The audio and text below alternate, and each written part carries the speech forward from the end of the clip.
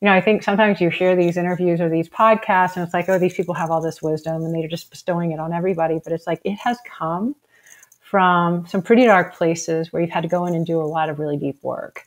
And that is a big piece of advice that I would offer is do not be afraid of those opportunities that in the heartache and in the darkness are some of the most valuable lessons. And there's so many things you've said here, like love is the fuel. Um, this moment of of um, of this lady coming up to you and said, "I felt like I was in church."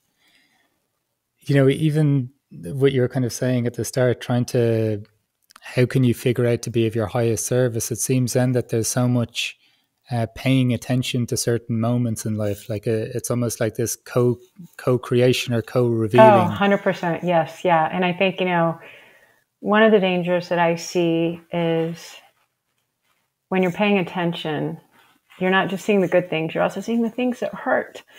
And yeah. I think, you know, a lot of my work began because I could see the pain that was happening in children with allergies and autism and ADHD and all these things, you know, like it was born out of pain. Um, and that sensitivity and that empathy, you know, it's an incredible skill, but oh gosh, you have to learn how to manage it, you know? And so to really think about um, the ability to, to not only identify where things are, are, you know, these wonderful moments are happening, like that woman coming to me, but also these these really the heartache. And you know to to to say that what you are grateful for is the experience across that entire spectrum because of the lessons that are offered across the in, entire spectrum.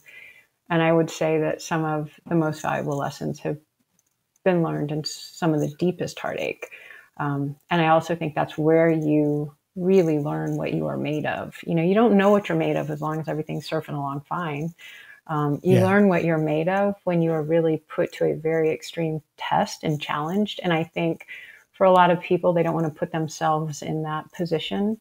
Um, and again, I understand like not to judge that. Um, however, if you're not if you're not pushed to grow, it's you know those those are really the growth opportunities.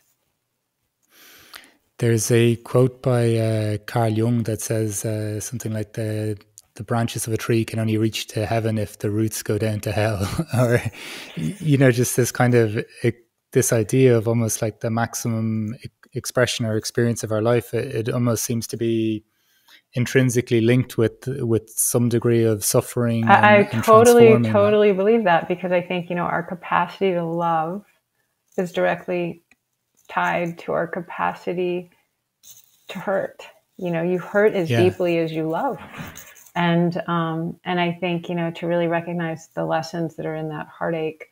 Um, I think for me, you know, when those moments would happen, and I would just be in this incredible pain, you know, and the tension of sort of being pushed or birthed into this next opportunity. Um, I would I remember laying awake at night, like thinking with my heart just wide open to the universe or the sky or whatever was above, and and just say, okay, okay, you know, I'm here, teach me the lesson I'm supposed to be learning. I understand that I am supposed to be learning a lesson. Please let me learn it quickly, you know, um, and to start to identify those pain points as the lesson opportunities. And then I think you would sort of you start to reframe it a little bit and you're not intimidated by it as much. And when those pain points come, you don't immediately think, oh, I've got to numb this. You know, I've got to somehow get, a, get away from it or run from it.